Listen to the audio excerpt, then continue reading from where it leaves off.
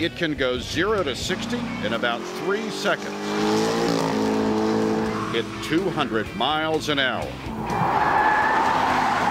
A mean machine, and for some, a time machine. Most Corvette buyers are men in their middle age, feeding the notion that they're somehow seeking their lost youth, what some call a midlife crisis. You hear the term, I have to have one before I die.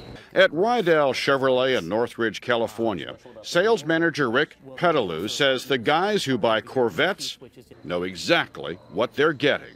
Are they buying performance? Are they buying the fantasy? The fantasy. A fantasy to ward off a special evil. The term midlife crisis was coined in 1965 by the late Canadian psychoanalyst Elliott Jaques, and it started with fear.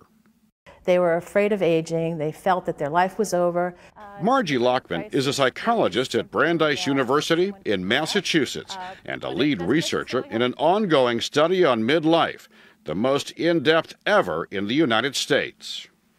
They realized they had not accomplished all their goals and had not been able to realize their dreams, and they thought it was too late, that there was really no more time to do this. I'm here today to again apologize the concept is so widely accepted, it's often blamed for men behaving badly, from Weiner to Schwarzenegger to Clinton. Actually, my wife and I are separated. Oh.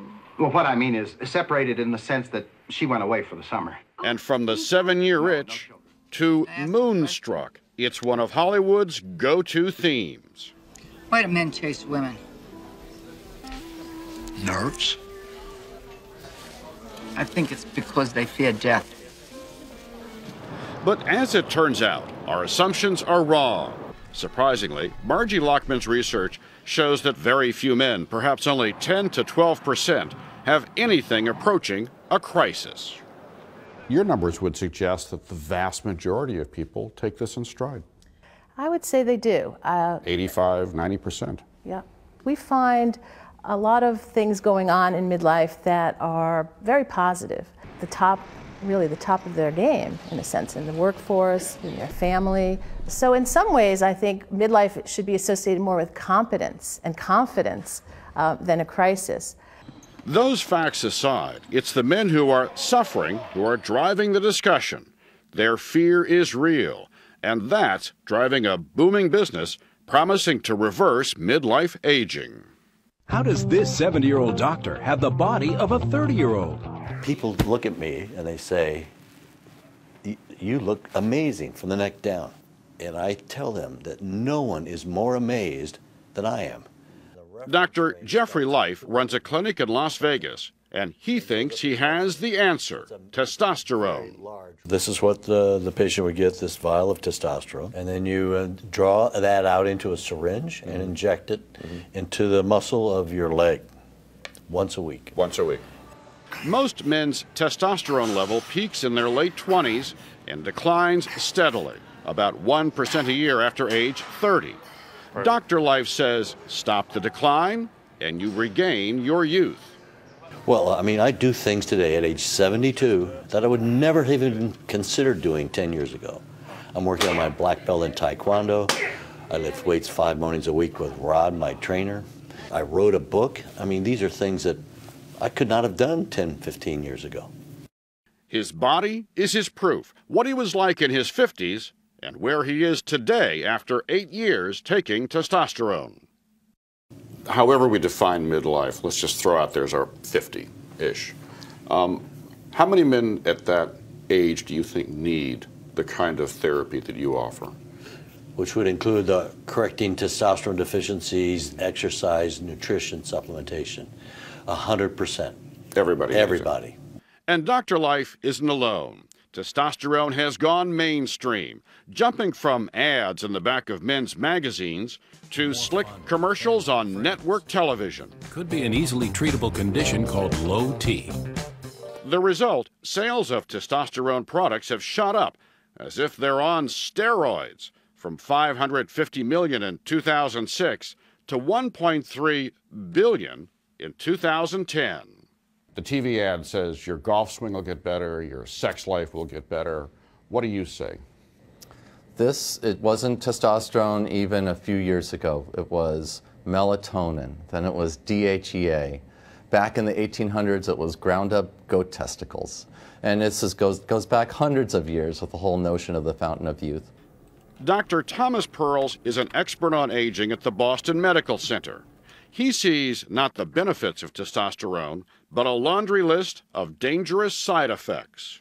There was a very high profile New England Journal of Medicine article that found a very high rate, four times greater rate for cardiovascular events, things like arrhythmias, atrial fibrillation, heart attack. His prescription to reverse a midlife slowdown? Do it the old fashioned way. Go to the gym and just work on the weights. Look at all the people out there on the weights. I would wager that the vast majority of them are not taking any drugs and they're feeling great. I know so many people who don't call it a midlife crisis, they call it an opportunity. I have to keep moving or I catch up with myself, if that makes any sense. Uh, and I caught up with myself Yeah. at that point. yeah. Yeah. And, I, and, I, and I didn't like me. Come on, we're normal. Comparatively normal. Opportunity is exactly what comedian Ray Romano was looking for at age 47 when he found himself suddenly adrift. You know, Raymond was nine years, and before that, I was stand up for 11 years. It was 20 years of, of, of this creative uh, outlet that I had, and all of a sudden, there was nothing. And I found myself wondering, what the hell am I going to do with the rest of my life? What, am, what have I done? So Romano, along with his friend and producer Mike Royce, decided to explore their own changing lives on television. Okay, right here, right here. It's not blurry anymore, but now it's too far away that I can't read it. I'm never going to know what it says on a ketchup bottle. It's ketchup. What are you going to know about it? What if They call their current show, co-starring Scott Bakula and Andre Braugher, Men of a Certain Age. And yes, that means middle age. You're a 49 year old man. How many 16 year old friends you got? She's not 16. Yeah, well, she's closer to 16 than 49, I'll tell you that. Age is just a number, my friends. Just a number. Oh, Here we go. come She's a on. freaking child. It's really a very exciting time in a way. Uh, it's I kind of liken it to it's like your second teenagerhood. Uh, y- y- your brain is go- is processing a lot of information. They say the show has helped all of them gain a new perspective. You know when I went to get my checkup at age 55, my doctor said, "Well, you're just getting welcome to the second half of your life." And, I, and I'm, I, you know, I'm thinking 110. Wow, you know, that's kind of maybe a, a real solid reality. I'm thinking, well, that's a lot of time.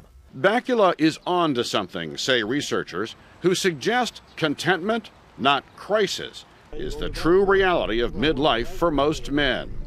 it, it takes a while before you accept that you're not going to be able to do this anymore. You're not as young as this. You, you know, your women aren't going to be as attracted to you anymore. You know, that's just the way life is, and and there is, you know, contentment to be had at that age. You just gotta.